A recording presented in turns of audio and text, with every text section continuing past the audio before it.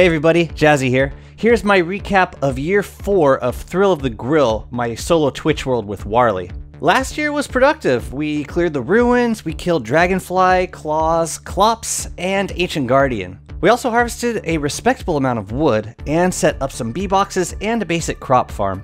The chest zone is slowly taking shape, but we are going to need a lot more wood before we can call that done. So my first task in autumn is to move Bearger into position for tree farming. When I said last time that we got Bearger close to the oasis, I was mistaken. Turns out we left him in the second deciduous forest, which is not all that close to our base. So I'm moving him on over to a peninsula right behind Pig King, and later I can set up the birch nut trees nearby. Day 221, I am turfing up an area for our future gecko pen and building all the walls. I'm trying to keep the pen small so that the geckos will constantly be frightened by Chester when I leave him inside. This will optimize their grass production and keep them running around whenever the area is loaded up. I'm also adding this double layer of walls because geckos have a nasty tendency of glitching through walls and fences. It's no big deal if we need to occasionally herd a few back inside, but I'm hoping to minimize that happening as much as possible. The grass I transplanted in spring has matured at this point so I can start to spawn geckos. My understanding is that every time you harvest or dig a grass tuft in proximity to a mature grass tuft, you have a 1% chance of spawning a herd of geckos that could be up to 6. You won't get any spawning if there's already a gecko within 5 tiles of the grass, so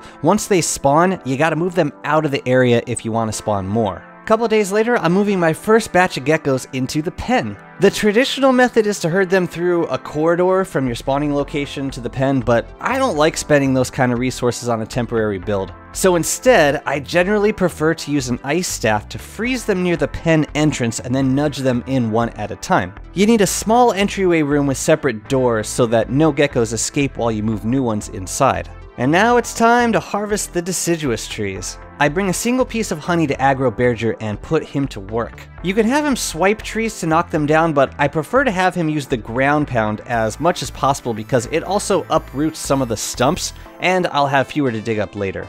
This was definitely the largest tree harvest we've had so far. I just wish I could do this more often, but we lose birch nut seeds if we harvest outside of autumn. With our newly acquired supply of boards, I'm starting work on our first major food farm, which is a Bunnyman fire farm. I know a guide has recently been done on this build, and the creator did not exactly mention the history of the concept.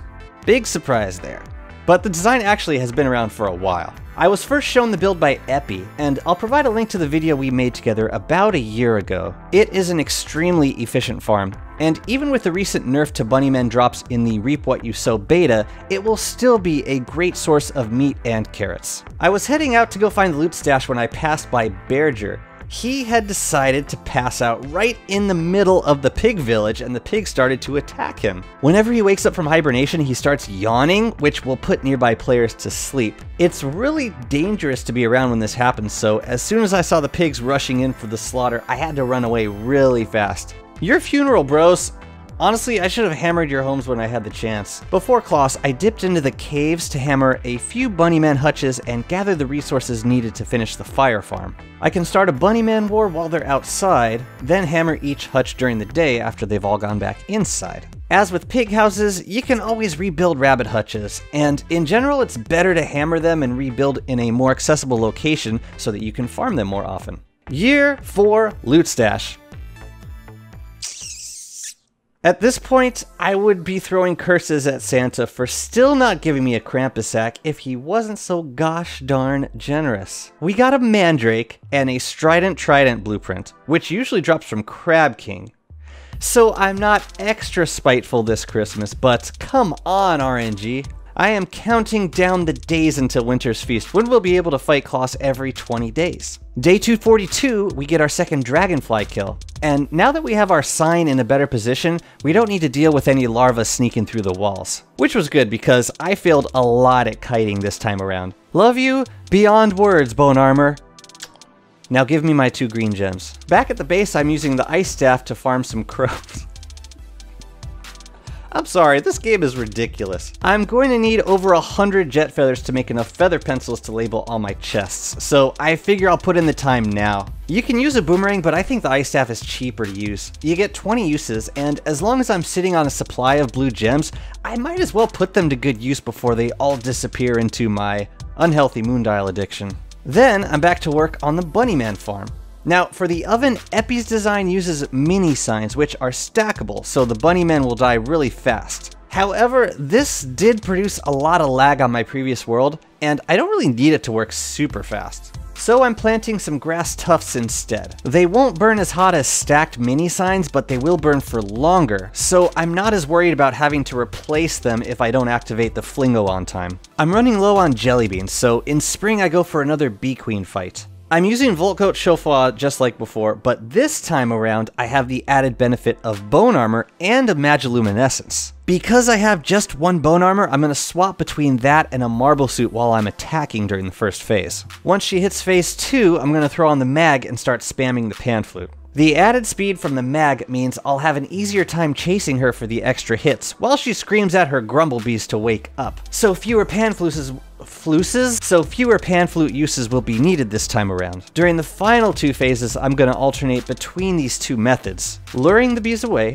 running back to tank a little bit, then blowing the pan flute to get one more free round of hits. A lot of item switching going on, but we're definitely saving on a lot more resources this time around because of all the body slot juggling. She lost her wetness during the final phase, but I was still able to finish her off at that point. Day 260, we get a second frog rain of the season while I'm herding geckos into the pen. I'm not sure if the frogs attack geckos, but I'd assume they do.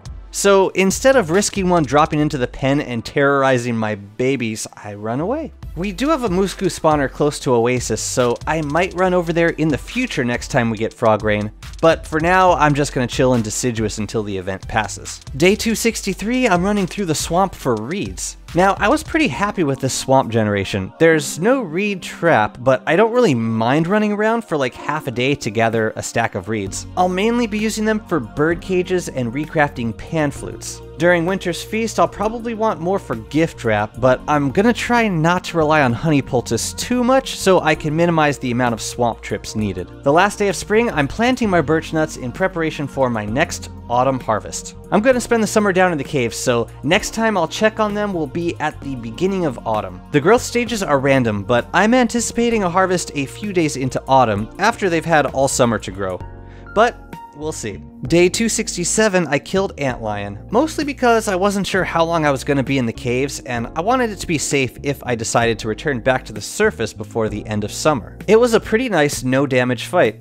I really don't like tanking her because this fight can go south really fast. If you're interested in my strategy, I'll post a link to the video I made on how to semi-safely kite her. Now, the ruins are currently cleared, but I have a few other things I want to do in summer. The first is obtaining the blueprints for all six replica relics. Now, a lot of players may not know this, but you know all those relics you find in the ruins, like the chairs, the tables, the plateware? You can actually unlock all of those structures as crafting recipes, and you do this at the completed pseudoscience set piece in the ruins. You gotta place six different combinations of six unique items into the ancient chest near the station. The first three items are always a Thulecite medallion, a cut stone, and a nightmare fuel. The other three items range in oddness, from birds to bunnies, butterflies, even petals. Now, two of the recipes call for berries.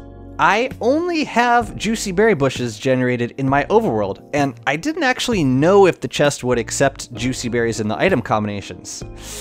Turns out they don't. So unless I have at least one normal so unless I have at least one normal berry bush in the caves, then I would be forced to hunt for berries in tumbleweeds, which is a 1% chance, or befriend a Catcoon and pray for it to vomit a berry, which is a 0.11% chance. This seems a little unfair. I mean, a berry was clearly not intended to be this difficult to obtain, and I wasn't about to spend my entire summer digging through tumbleweeds. Some viewers just wanted me to spawn in the berries, but I settled on running a console command that just checked to see if I had any regular berry bushes in the caves.